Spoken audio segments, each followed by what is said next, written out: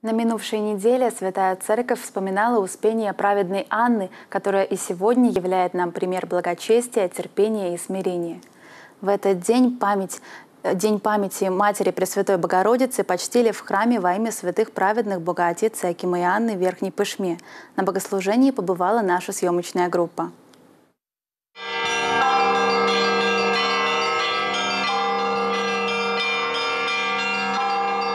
Услышав этот торжественный и радостный звон колокола, иной человек может остановиться и задуматься, а что же празднует в этот день церковь? И узнав, что празднуется успение или иначе смерть того или иного праведника, он удивляется, как же можно праздновать смерть человека?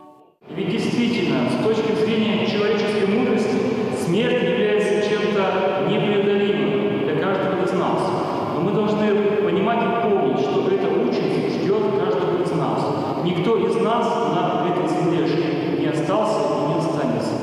Не та судьба у нас есть на этой земле. Земля – это место скорби и покаяния. И тем не менее, Господь все равно, утешая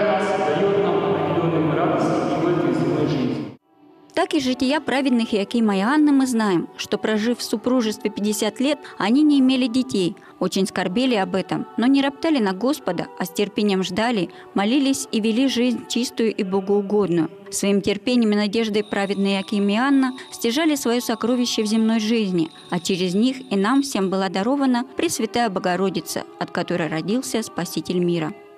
Святая праведная Анна, прожив длинную молившись Э, очищая свою душу, готовя себя к этому великому делу, э, приготовляя себя э, к рождению честнейших херувим, славнейших без сравнения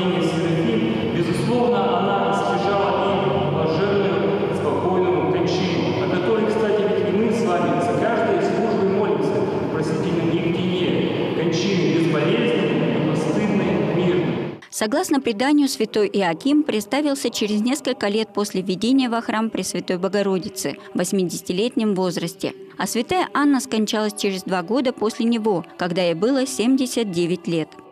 После смерти мужа праведного Иакима святая Анна пребывала в Иерусалиме рядом со своей пречистой дочерью, а завершив свое земное странствие, она почила сном смертным на руках у Девы Марии. Православному христианину свойственно особое отношение к смерти. Вся наша жизнь – это время испытаний, трудов и скорбей, а смерть – это разрешение от уз плоти и возможность для человека быть с Богом, если он к этому готовился здесь, на земле. И примером этому служит жизнь праведной Анны, успение которой празднует Святая Церковь.